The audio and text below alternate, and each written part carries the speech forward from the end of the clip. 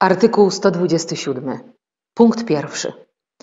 Prezydent Rzeczypospolitej jest wybierany przez naród w wyborach powszechnych, równych, bezpośrednich i w głosowaniu tajnym.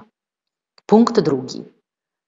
Prezydent Rzeczypospolitej jest wybierany na pięcioletnią kadencję i może być ponownie wybrany tylko raz.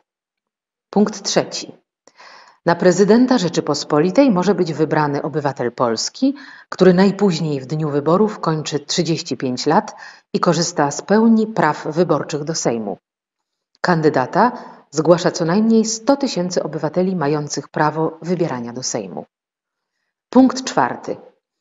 Na prezydenta Rzeczypospolitej wybrany zostaje kandydat, który otrzymał więcej niż połowę ważnie oddanych głosów. Jeżeli żaden z kandydatów nie uzyska wymaganej większości, 14 dnia po pierwszym głosowaniu przeprowadza się ponowne głosowanie. Punkt piąty. W ponownym głosowaniu wyboru dokonuje się spośród dwóch kandydatów, którzy w pierwszym głosowaniu otrzymali kolejno największą liczbę głosów. Jeżeli którykolwiek z tych dwóch kandydatów wycofa zgodę na kandydowanie, utraci prawo wyborcze lub umrze, w jego miejsce do wyborów w ponownym głosowaniu dopuszcza się kandydata, który otrzymał kolejno największą liczbę głosów w pierwszym głosowaniu. W takim przypadku datę ponownego głosowania odracza się o dalszych 14 dni. Punkt szósty.